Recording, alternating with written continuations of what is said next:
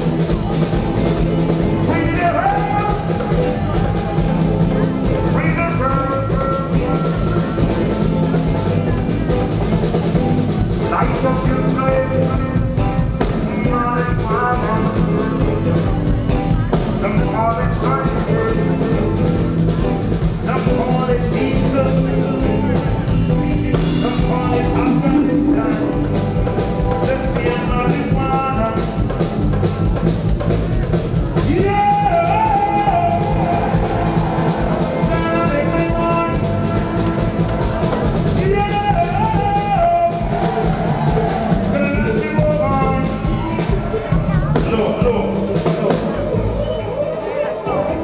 And are you feeling it down?